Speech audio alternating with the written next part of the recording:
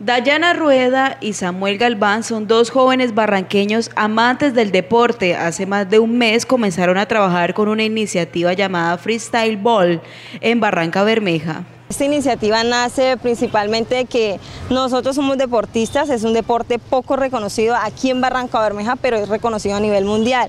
Entonces somos los pioneros de acá, decidimos eh, formar eh, crear algo aquí en Barranca Bermeja, un deporte que se dé a conocer similar al fútbol, pero es diferente, ya que consiste en hacer jugadas con el balón. ¿Cuál es nuestro objetivo? A través de las plataformas digitales, darnos a conocer, a que conozcan el deporte y también otra cara de Barranca Bermeja.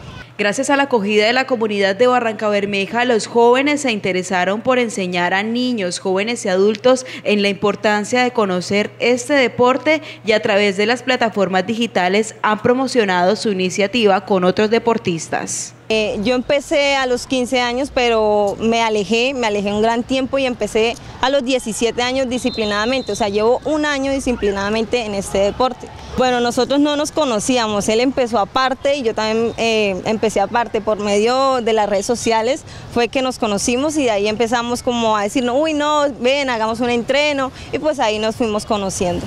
Dayana Rueda y Samuel Galván quieren dar a conocer este deporte por medio de los movimientos del cuerpo en la danza acrobática que realizan con el balón de fútbol.